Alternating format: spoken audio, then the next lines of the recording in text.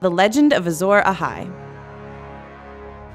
He's the legendary warrior that saved the world from the White Walkers. Lots of fans think he might actually be the same person as the prince who was promised. Legend has it that 5,000 years ago, winter fell for a generation, and a lone figure referred to as Azor Ahai put an end to the darkness. Melisandre discusses the prophecy in A Clash of Kings. She says, There will come a day after a long summer when the stars bleed and the cold breath of darkness falls heavy on the world. In this dread hour, a warrior will draw a burning sword from the fire, and that sword shall be Lightbringer, the red sword of heroes, and he who clasps it shall be Azor Ahai come again, and the darkness shall flee before him him. Let's talk about Lightbringer for a minute. This is a crucial aspect to the whole prophecy, the fabled sword that was cast of living fire. Azor Ahai took three tries to create the sword. First, he tempered it in water, but the sword broke.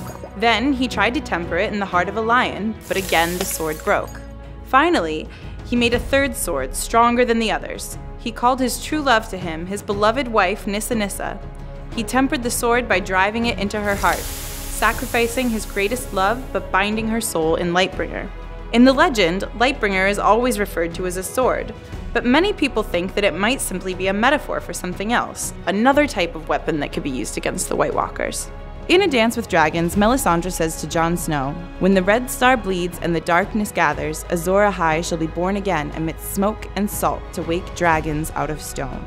Aemon Targaryen adds that Azor Ahai must have some of the blood of the dragon in him. In fact, a Woods Witch told Aerys and Rhaella Targaryen that Azor Ahai would be born of their line specifically.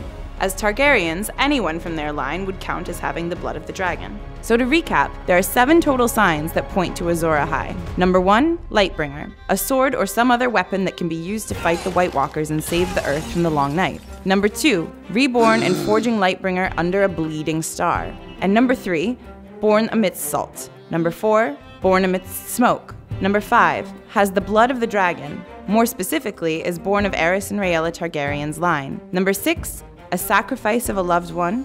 And number seven, something to do with dragons. Now, who do we know that fits these criteria? Daenerys woke dragons from stone after the sacrifice of her beloved husband Drogo and son Rhaego. She's the daughter of Aerys and Rhaella Targaryen, reborn amidst the salt and smoke of Khal Drogo's funeral pyre under a bleeding star. The only part that seems unclear is Lightbringer. She has no sword, but she does have three powerful fiery dragons that would probably be more useful against the White Walkers than any single sword could ever be. If the dragons are Lightbringer, then Daenerys fits all the signs of Azor Ahai. After all, Aemon Targaryen already admitted that he believed Daenerys to be the princess who was promised. Old Valyrian is a gender-neutral language, so there was never any real indication that it had to be a prince. But if it is a prince, there's really only one other person it could be. After the season 6 finale, we learned that there's someone else with the blood of the dragon, from the line of Aerys and Rhaella Targaryen. Jon Snow was killed and brought back to life, or reborn. In A Dance with Dragons, his wound is described as smoking, Someone is bleeding in a star-patterned cloak, and Bowen Marsh is crying salt. Jon is already a brave warrior, fighting against the White Walkers, so these are all signs that point to him being Azor Ahai. But the Lightbringer part is unclear at the moment, as is the sacrifice, and he has no connection to dragons whatsoever, beyond just being a Targaryen. Melisandre seems convinced that he's Azor Ahai. He's the prince that was promised. But she's been wrong before.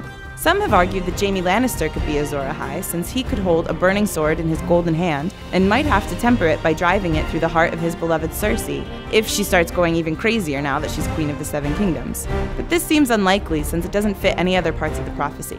Right now, it looks like Azor Ahai is probably Dany, or possibly Jon, but maybe even both since that would bring together a song of ice and fire. Who do you think is the prince who was promised?